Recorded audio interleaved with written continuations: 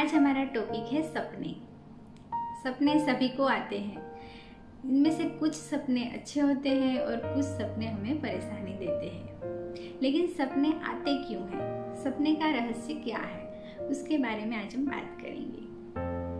Psychology कहती है कि व्यक्ति की जो इच्छा वो रियल लाइफ में पूरी नहीं कर सकता वो सारी इच्छाएँ उसके सब कॉन्शियस माइंड में चली जाती है।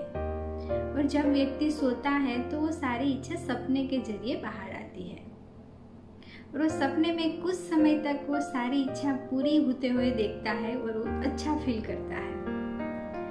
सपने में व्यक्ति का माइंड तो एक्टिव होता है, लेकिन उसकी बॉडी एक्टिव नहीं होती। अगर कोई व्यक्ति नाचने का सपना देखता है तो उसमें सिर्फ़ उसका माइंड एक्टिव है। उसका बॉडी एक्टिव नहीं है। कभी कभी उसकी आँखें हिलती है, लेकिन वो सिर्फ़ उसके माइंड में ही एक्टिव होता है। और सपने हमेशा 95 परसेंट तो हम भूल जाते हैं। कुछ ही सपने ऐसे होते हैं जो हमें याद रहते हैं।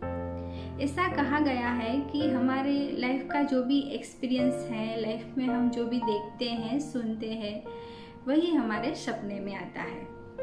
बड़े बड़े साइंटिस्टों को उसका एक्सपेरिमेंट का सॉल्यूशन उसे सपने में मिला है। तो सपने के बारे में कई सारे रिसर्च किए गए हैं। कुछ सपने ऐसे होते हैं जो आपकी मनोदशा बताते हैं।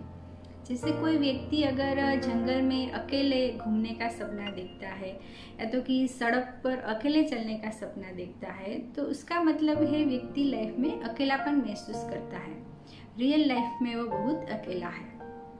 अगर कोई व्यक्ति ऊंचाई से गिरने का सपना देखता है तो वो व्यक्ति एंजाइटी में है। वो किसी बात की चिंता कर रहा है। तो इस तरह से सपने में व्यक्ति की मनोदशा का पता चलता है। सपने अच्छे हो या बुरे हो, हम उसको कंट्रोल नहीं कर सकते। वो हमें आते ही है। और सपने के बारे में सबकी रिसर्च भी अलग अलग है। आज के लिए बस इतना ही। अगर वीडियो पसंद आया है तो please like share and subscribe to my channel thank you for watching bye.